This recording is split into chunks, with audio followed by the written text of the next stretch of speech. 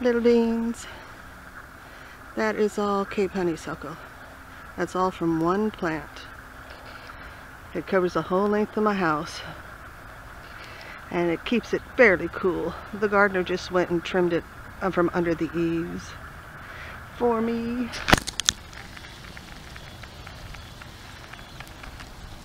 That is all Cape honeysuckle. Oh, it's better. Can only see me in the back of the camera. But that solid wall, so he's just trimmed off all the pretty orange flowers. Oh, hello Flutterby. And it's an extremely hard wood. The mulcher doesn't like it once it's dried.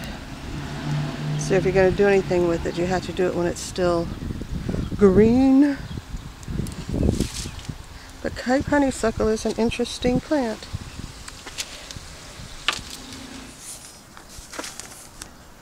And here's some of the Cape honeysuckle that started on my side of the fence grew through to the other side of the fence.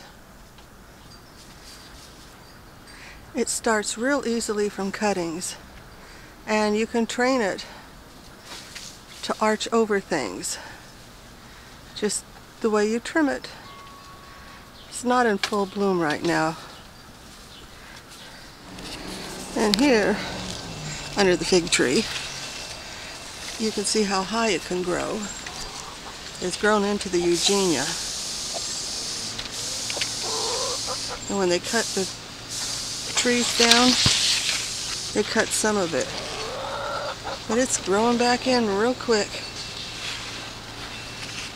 See, you can make an arch out of it to shade different areas.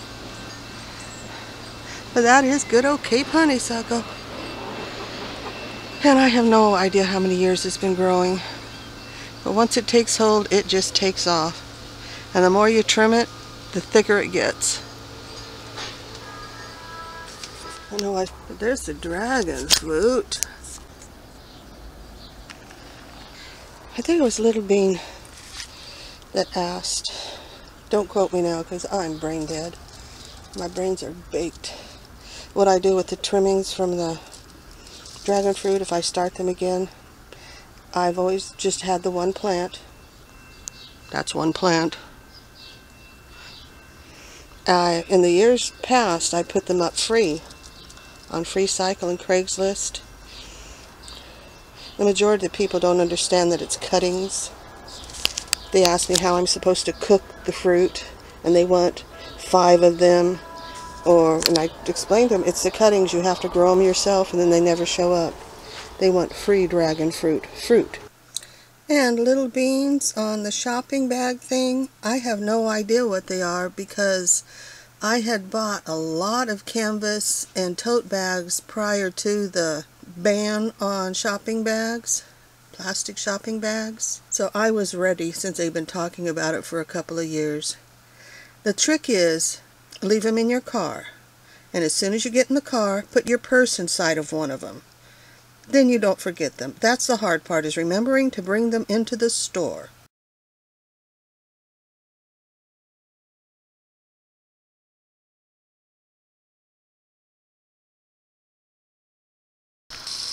And to let my girls cool themselves off, I fill up a couple of paint roller pans. This way it has a shallow end for the little chickens and a deep end for the bigger chickens. And I fill it up sometimes twice a day. But that's what I use to keep my babies cool.